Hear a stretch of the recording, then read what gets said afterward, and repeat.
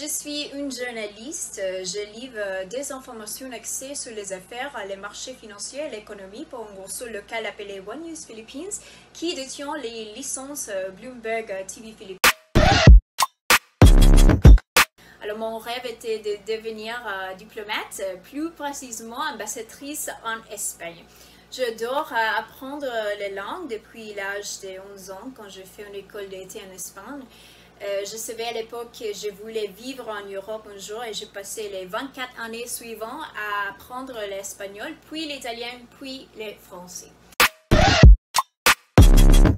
J'ai passé les dix dernières années à enseigner bénévolement avec l'Ateneo School of Government les bases de savings and investing ou les migrants philippines principalement dans les emplois euh, domestiques dans 20 villes à travers de 10 pays.